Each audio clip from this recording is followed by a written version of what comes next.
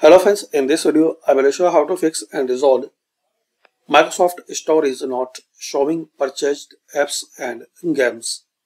So to resolve this uh, problem you can try these two methods. First one click on start then settings.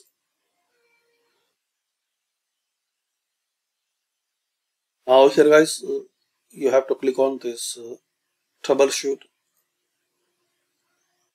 and other troubleshooters. Scroll down and run troubleshooter on Windows Store apps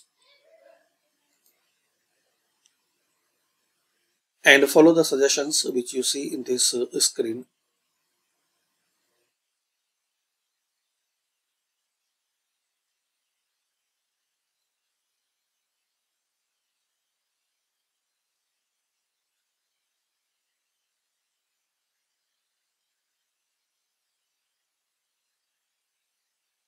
And guys if this method not work so you can try second method.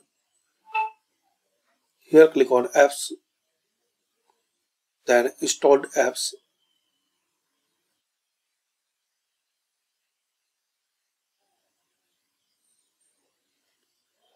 And here guys you have to find out uh, store Microsoft Store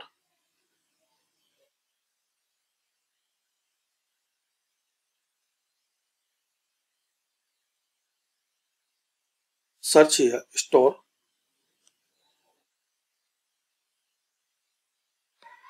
Now click on this three dot advanced options.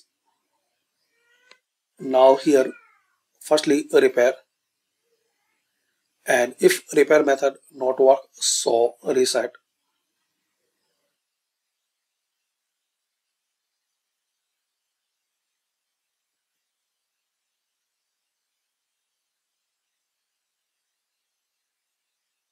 So this is the possible way guys you can try to resolve this Microsoft problem. Thanks for watching guys. Comment this method work for you or not.